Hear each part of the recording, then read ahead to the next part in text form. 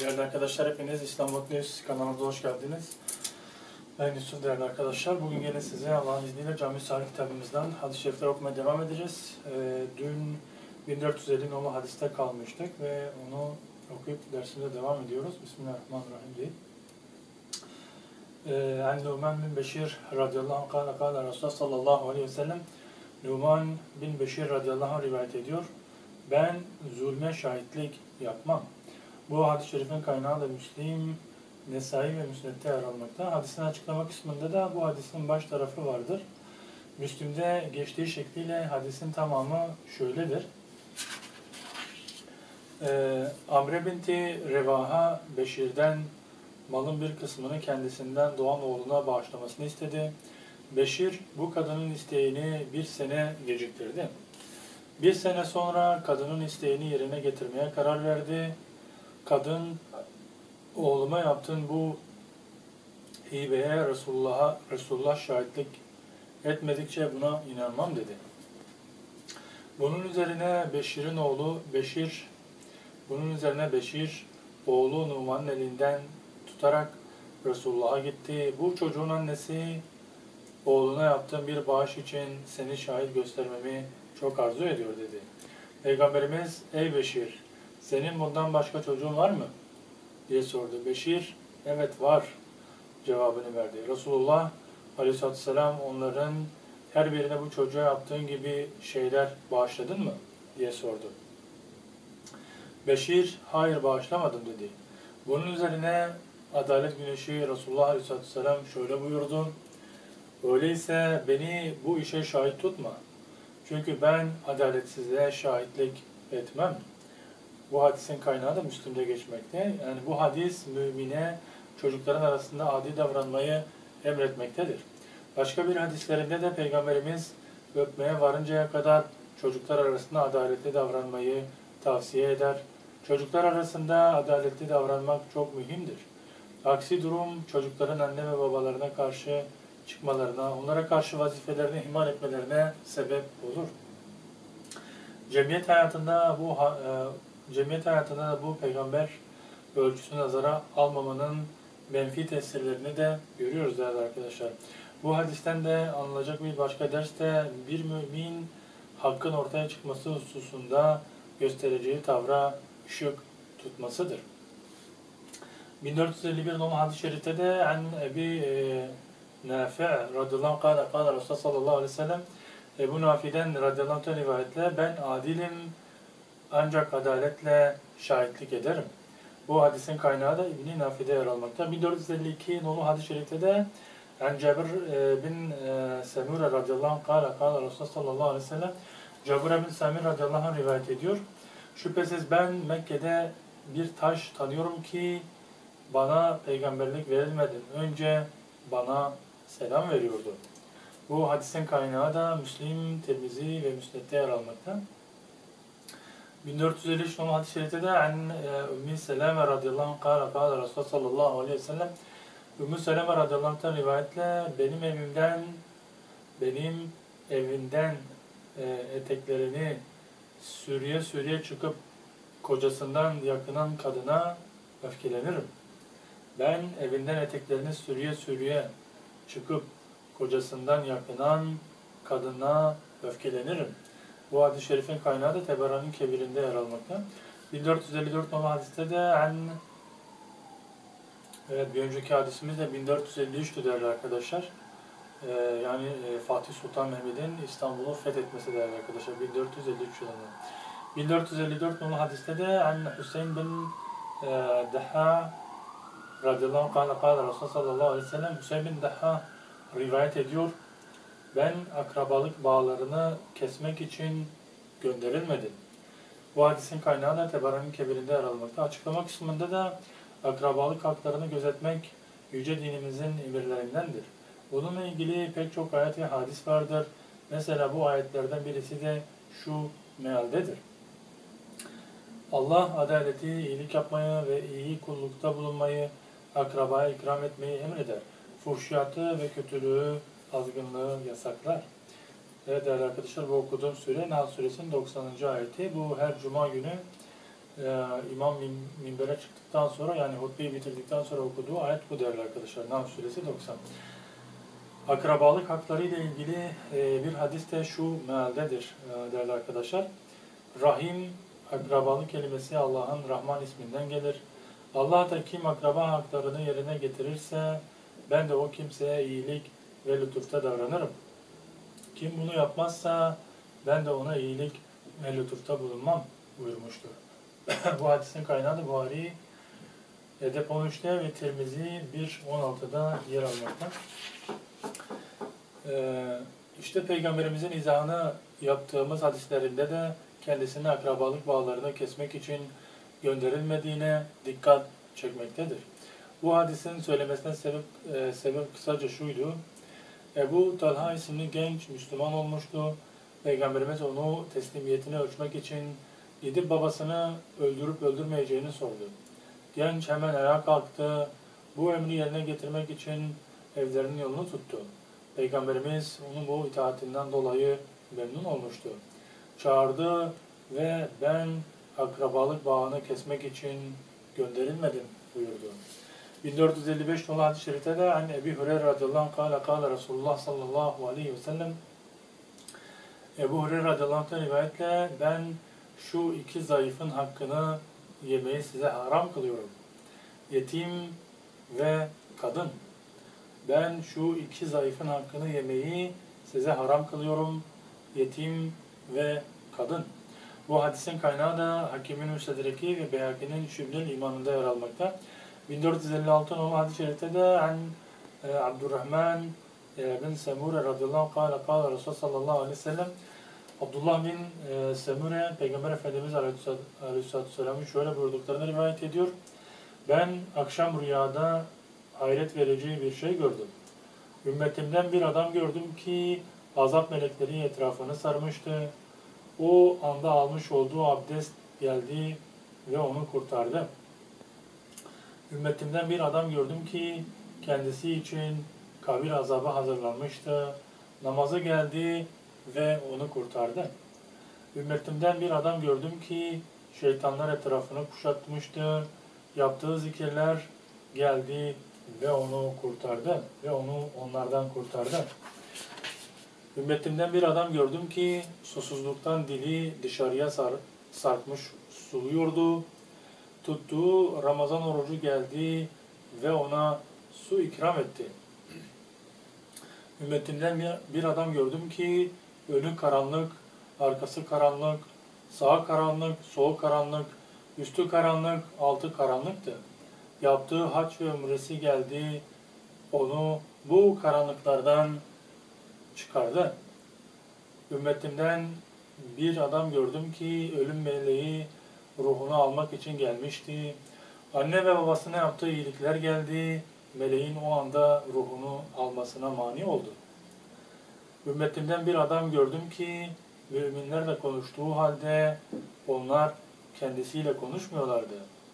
Akrabalı, akrabalarıyla olan iyi ilişkileri geldi ve onlara hitaben bu akrabalarına iyilik ederdi dedi. Bunun üzerine onlar da o zatla konuştular. O da onlara karıştı.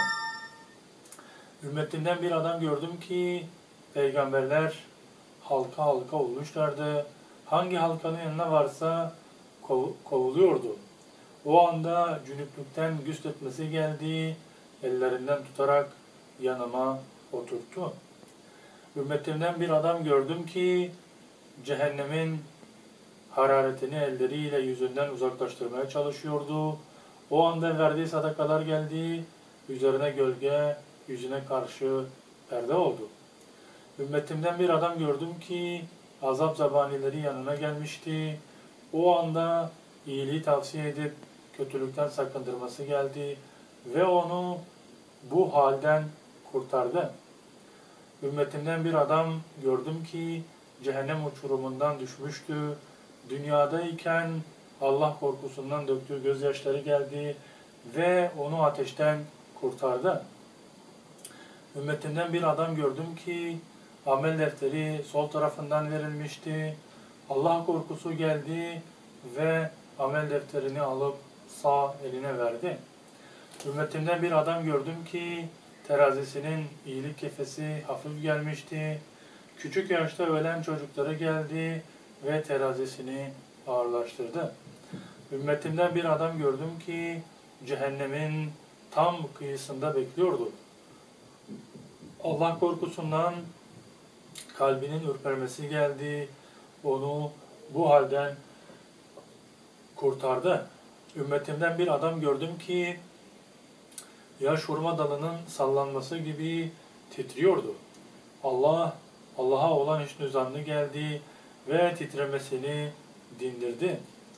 Ümmetimden bir adam gördüm ki Sırat Köprüsü'nde sürünerek ve emekleyerek yol almaya çalışıyordu. Bana getirdiği salavatlar geldi, elinden tutarak ayağa kaldırdı. Böylece sıratı geçti. Ümmetimden bir adam gördüm ki cennet kapılarına kadar geldi. Fakat kapılar yüzüne kapandı. Getirdiği kelime şehadetler geldi. Elinden tutarak cennette girdirdi. Bu hadis-i şerifin kaynağı da değerli arkadaşlar Teferani'nin kebirinde yer almakta. 1457 numaralı hadiste de en Ayşe radıyallahu kâle kâle Resulullah sallallahu aleyhi ve sellem Ayşe radıyallahu anh rivayetle ahirette bana kavuşmak istiyorsan dünyadan bir atlı yolcuya yetecek kadar azıkla yetin. Zenginlerle oturup kalkmaktan sakın yamamadıkça bir elbiseyi eski diye bırakma. Yamamadıkça bir elbiseyi eski diye bırakma. Bu hadisin kaynağı Tirmizi'de yer almakta. Resul-i Ekrem Aleyhisselatü Vesselam her ne kadar bu hadisi Hazreti Ayşe'ye bir öğüt alarak e, söylüyorsa da bundan her Müslümanın alacağı birçok dersler vardır.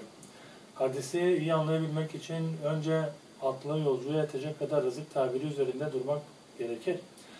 Atlı yolcu nasıl altında taşıyabileceği kadar rızıkla yol çıkarıyor, yol çıkıyor, kendisini geri bırakacak, ayağa bağlı olabilecek fazlıklara da mümkün olduğunca yer vermiyorsa ahiret yolculuğunda kendisini, kendini bir atlı yolcu gibi gören kimse de öncelikle kendisine yetecek kadar rızık peşinde olmalıdır. Hayat yolculuğuna gerekli olan rızkı elde etmek, el aleme, el aleme muhtaç olmayacak derecede bir şeyler kazanmak şarttır. Fazlasına ise ahirette tasarruf noktasına bakılmalı, hayra, iyiliğe kullanılabilecekse o ölçüde itibar etmelidir. Eğer o kazandıklarımız ebedi saadetimize ayak bağı oluyorsa o faydalı değil, zararlıdır.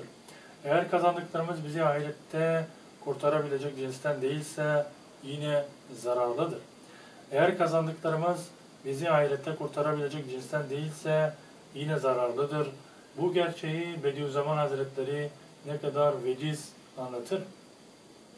Ahirette seni kurtaracak bir eserin olmadığı takdirde fani dünyada bıraktığın eserlere de kıymet verme. Şunu da bilmek ki, şunu da hemen belirtmek gerekir ki bu hadise dayanarak dünyada çalışmayacaksın, el etek çekeceksin, terk edeceksin şeklinde bir anlayışa da kapılmamak gerekir. İnsan çalışıp çabalayacak, az veya çok kazanacak, az kazandığına şikayette, isyana e, girmeyecek, çok kazandığında da yukarıdaki ölçülerin ölçü ölçü içerisinde davran ölçü içerisinde davranacaktır. Çok kazandığında da yukarıdaki ölçü içerisinde davranacaktır. Bu hadis aynı zamanda da fedakarlığa ve en üst sınıra çizdiğini gör, e, görüyoruz. Bu dünya için çalışılmayacak, kazanılmayacak, mal mülk edinilmeyecek demek değil. Aksine çokça çalışıp kazanıp fazlasını Allah yolunda sarf edebilmek, sarf edebilecek demek demektir. Eğer zengin imkanına rağmen bu hadisin çizdiği çerçeve içerisinde kendini bir kısım aşırı zevk ve lezzetlerden uzak tutabiliyor, imkanlarıyla imana, Kur'an'a hizmet edebiliyor, zekat ve sadaka konusunda hassasiyet gösterebiliyorsa o da Peygamberimize kavuşur. Asr-ı saadete servetini, imkanlarını halkın hizmetine sunan nice sahabi buna güzel bir örnek teşkil etmektedir. Böyle böyle zenginler de elbette ki Resulullah'a kavuşacaklardır. Hadiste ayrıca zenginlerle oturup kalkmaktan sakındırma vardır.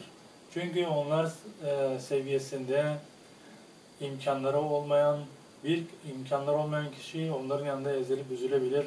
Minnet altında kalıp aşağılık duygusuna kapılabilir. Kul köle olabilir veya kıskançlık duygusuna girebilir veyahut onlara ayak uydurabilmek için imkanlarını aşarak lüks ve israfa kaçabilir. Bunu karşılamak için de ya büyük sıkıntılar içinde kalır ya da gayrimeşru kazanç yollarına tevessül, tevessül eder. Her ikisinin de sonu pişmanlık ve hüsrandır. Zenginlerle içli dışlı olan kimseleri daha başka tehlikeler de bekler. Eğer zengin manevi noktada zayıf biri ise onunla oturup kalkan kişi ahlaki bakımından çok şeyler kaybedebilir.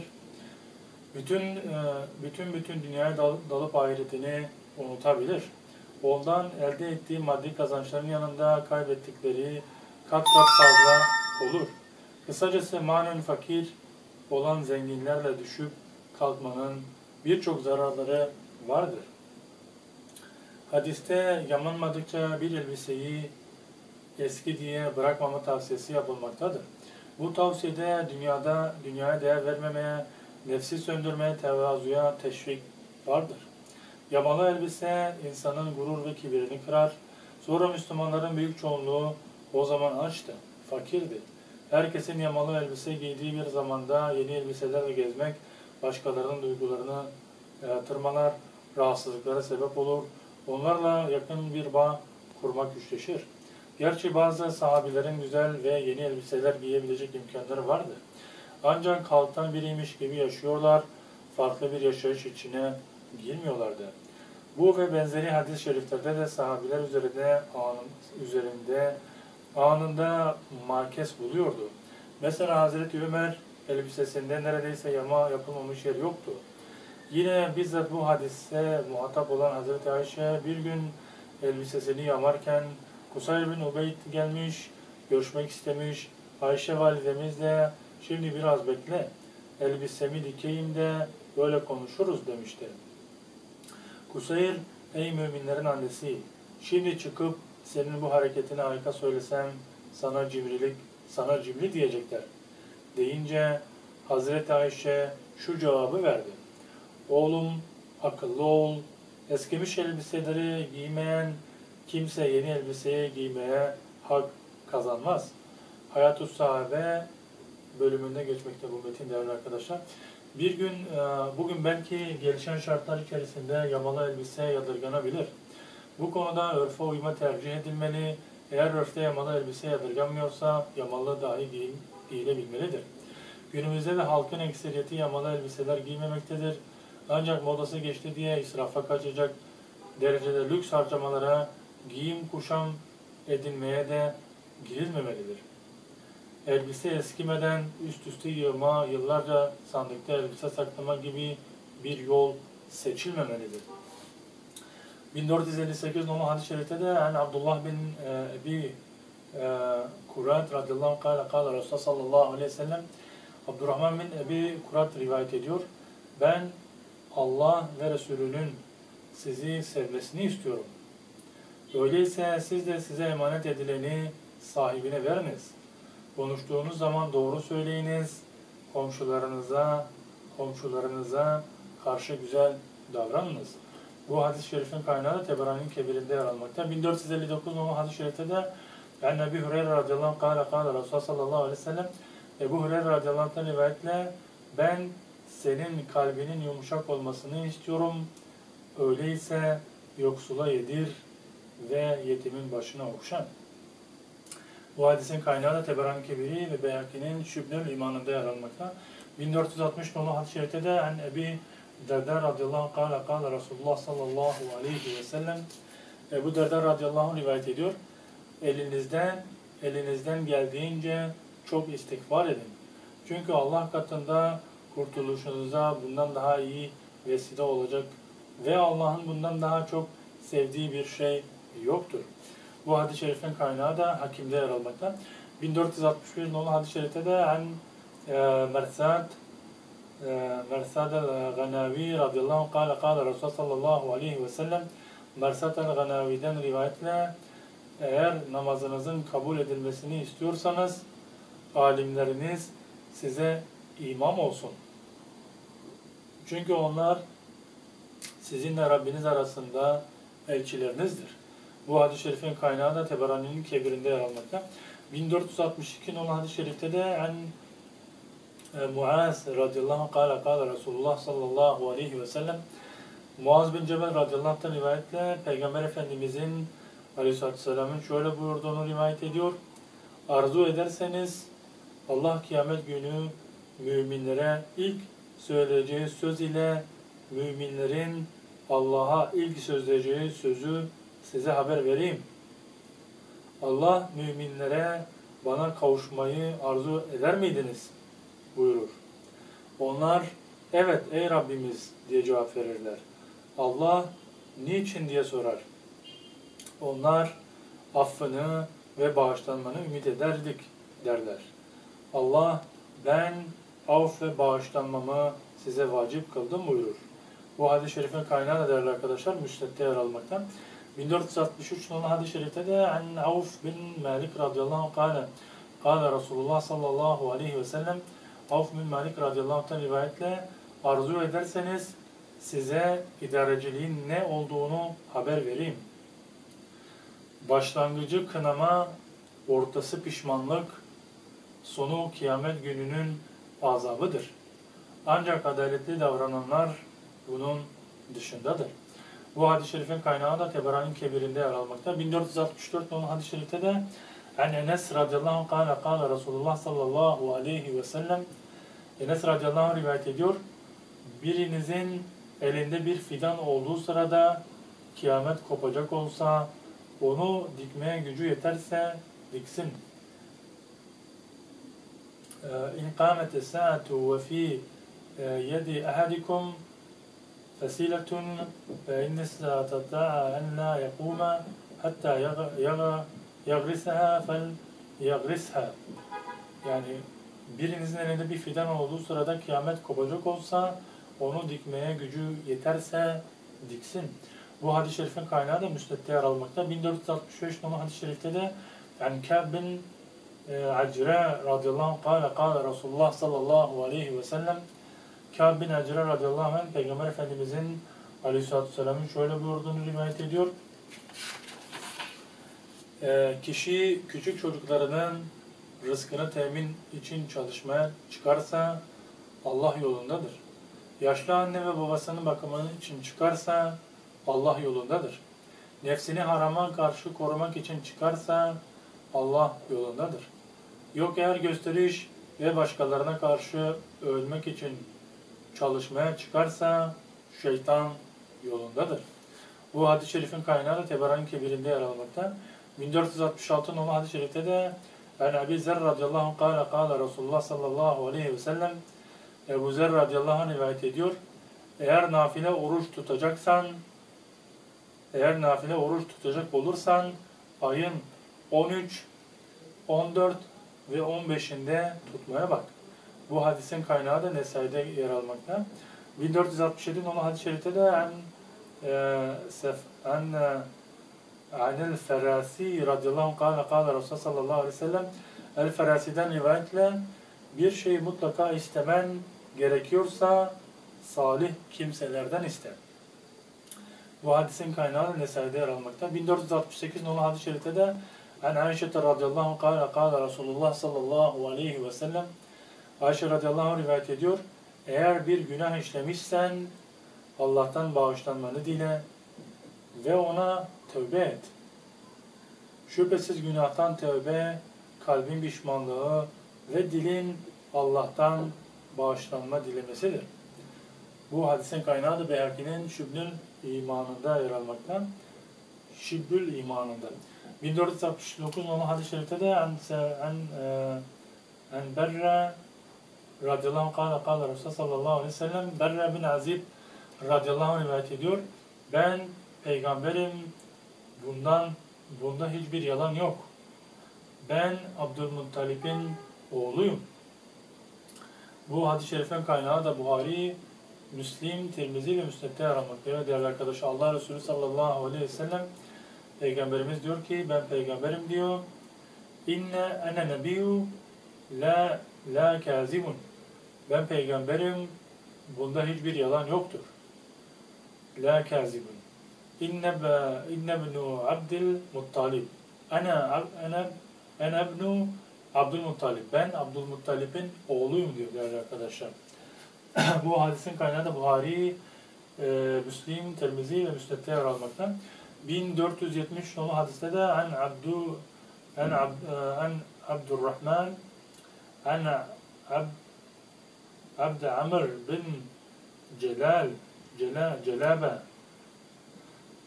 Celabel Kelbi an Abd an Abd Amr bin Cebale Kelbi radıyallahu anh kâle kâle Resulullah sallallahu aleyhi ve sellem Arapça tutusu bu değerli arkadaşlar. Amr bin kâle kâle Resulullah sallallahu aleyhi ve sellem Amr bin Celebe'nin kölesinden rivayetle ben ben ümmi doğru ve tertemiz peygamberim. Bütün esef ve yaz, yazıklar beni yalanlayan, bütün esef ve yazıklar beni yalanlayan ve benden yüz çeviren olsun.